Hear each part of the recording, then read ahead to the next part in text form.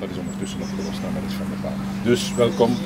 We gaan dat 4 september vieren, maar ik geef uh, de schepenblikkers het woord om uh, het, uh, de festiviteiten van 4 september te doen.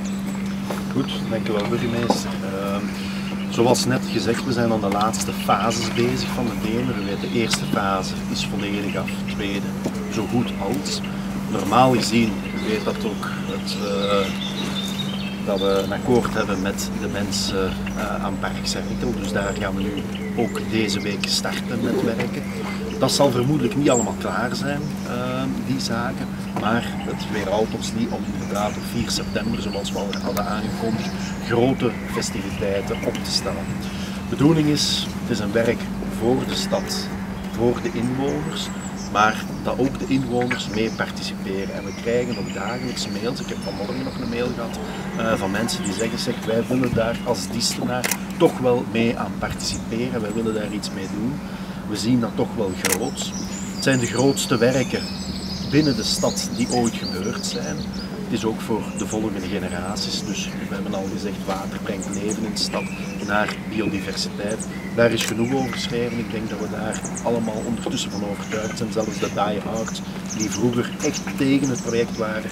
Ik merk dat dat groepje kleiner en kleiner wordt. Iedereen is overtuigd van uh, het positieve aspect van die Dener Noordist.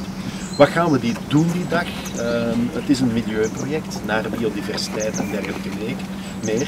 VMM heeft hier zwaar in geïnvesteerd. 89% van de werken zijn gesubsidieerd door de Vlaamse overheid. Betekent ook dat de grote baas van het project het project zal inhuldigen. En de grote basis, onze minister van Milieu, Joke Schouwvliegen, heeft toegezegd dat ze op 4 september om 2 uur s middags de Demer zal openen op de kaai. Heel symbolisch, daar waar vroeger uh, de aanlegstijger was waar de schepen aankwamen, waar we onze paardentrap hebben ontdekt tijdens de werk. stond niet in ons concept vooraf, maar u weet, we hebben enkele malen het concept veranderd omdat we ook van inspraak hielden van de bevolking. En dat vonden we toch wel belangrijk, dat gedurfd, het is een project dat heel lang geduurd heeft, dat we toch zeggen we willen uh, hier en daar uh, aanpassingen doen. Zij zal daar de fonteinen op de kaai gevestigd zijn, die zal zijn werking stellen. En dat zal de symbolische opening zijn. We gaan verschillende evenementenpunten maken. We beginnen met de kaai zelf en de Demerstraat. Daar gaan we wat horeca betreft alles overlaten aan de plaatselijke horeca daar. Omdat we weten, die mensen hebben toch de afgelopen tijd toch wel schade ondervonden door het openleggen van de deler. Nu, die mensen zijn altijd positief gebleven, dat wil ik toch uh, beklemtonen. Ik ben hen daar ook heel dankbaar voor. Uh, en zij krijgen dus die dag uh, de mogelijkheid om op terrassen te zetten en zij gaan zelf ook voor animatie zorgen. Verder heeft ook Thea gezorgd voor extra animatie dat het daar gebeurt tweede punt uh, is uh, het Park Cerkel. Park Cerkel zal uh, heel wat activiteiten plaatsvinden. ik denk zomaar aan de bieracademie die zich heeft aangeboden, maar ook andere zaken die daar zullen plaatsvinden. Ons derde punt is hier aan de Verversgracht, aan onze schouw. Dat gaan we vooral aan de jeugd laten. De jeugd gaat daar sjorren en tenten en dergelijke maken. Uh, dus op die manier zijn zij ook betrokken. En dan hebben we ook nog een laatste punt en dat is aan uh, de Ezeldijk zitten, aan de signorie uh, die daar gevestigd is. Daar zal op het plein dat daar is, zal de Intergilde onder andere actief zijn, waar ze hun dansen laten zien, waar ze terug het schieten gaan demonstreren. En voor de rest zijn er ook verschillende muziekcompagnieën die actief zullen zijn, mensen die zich hebben aangeboden. S'avonds schakelen we over om 5 uur naar uh, Begijn of in Kaarslicht. Want ook dat vindt traditioneel in september plaats. En we hebben ervoor geopteerd om dat allemaal te koppelen uh, precies op die dag.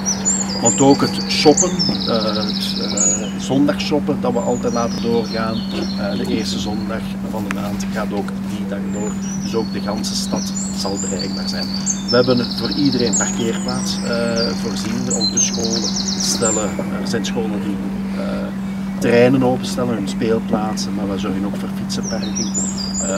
dus op dat vlak willen we de bevolking toch betrekken in heel dat feestgebeuren. We ook op schitterend weer zoals vandaag. En we denken dat dat iets mooi gaat zijn. De bedoeling is ook dat we afsluiten met een vuurwerk. Uh, om het echt traditioneel te maken. Daarvoor zijn de laatste contacten uh, gelegd. Uh, ik denk dat dat het belangrijkste is. Met, dit, met deze uh, opening willen we echt aan de bewoners, aan de bevolking, en zeker zij die heel dicht bij de Demer wonen en toch de laatste maanden heel veel geduld moeten hebben, willen we eigenlijk een dikke merci zeggen voor hun geduld, want het is toch allemaal niet evident. Achteraf wonen zij op een hondenste stukje van Diest. Daar ben ik echt van overtuigd, maar nu is het soms toch wel moeilijk. Uh, spectaculair gaan we na de opening met, door de minister toch iets speciaal organiseren. En daarvoor geef ik heel even het woord aan Ben de Keuning van de Lions. Club dat zijn ook diestenaren en uh, met een hart voor, Diest. En we wilden iets doen, we hebben op een bepaald moment het idee gelanceerd van een eentjeskoers hier te organiseren. Een eentjeskoers dat brengt mensen bijeen, dat motiveert mensen om naar de stad te komen. Dat is hetgeen dat we eigenlijk ook willen, willen doen. Dus de laatste maanden zijn Thea en ik echt aan het werk geweest. We moeten zorgen dat Diest die een dag, die 4 september, zwart ziet van het volk. We gaan proberen heel veel eentjes te verkopen. De mensen die eentjes kopen zullen waarschijnlijk wel geneigd zijn om eens te komen kijken. Want de eerste prijs van onze eentjesrace, dat is een auto. En niet zomaar een auto, maar wel degelijk een Volvo V40. Dat toch al geen kleine auto is, dat is al een, fameuze auto. Wat willen we dus doen? Dus we gaan vanaf nu, we beginnen zondag, op de Begijnhoffeesten beginnen we eentjes te verkopen. Je ziet er hier al een aantal staan. Je krijgt daar een kastlot bij. Het kastlot registreert je op, internet en je bent ingeschreven, want naast dit eentje hebben wij wedstrijdeentjes. Dit hier is een souvenir, staat ook Diest op het van voor. Het is een souvenir aan Diest voor de mensen die hier komen, of voor de Diestenaar zelf. Maar uh, de andere eentjes die wij, uh, waar wij voor zorgen, dat zijn degenen die meedoen aan de koers. Die gaan in de Demerstraat te water gelaten worden. En die hopen wij, we moeten er een beetje uittesten, de stroming dat we gaan krijgen.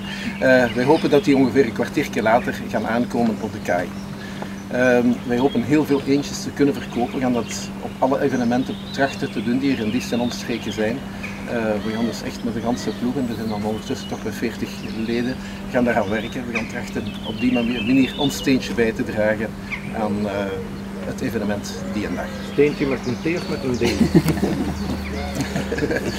het, uh, we gaan er in ieder geval hard aan werken. Uh, je weet voor wat wij doen. Allee, we hebben al dikwijls op uw beroep gedaan. Wij werken voor uh, de Bremberg en voor Martien van Kamp. Martien van Kamp staat weer voor een heel grote uitdaging. We zijn nog pas aan het en de volgende dienst zich alweer aan. En, uh, ja, we gaan dus waarschijnlijk nog wel van die initiatieven moeten nemen, maar dit is wel een uitgelezen kans om samen met de stad iets moois te organiseren.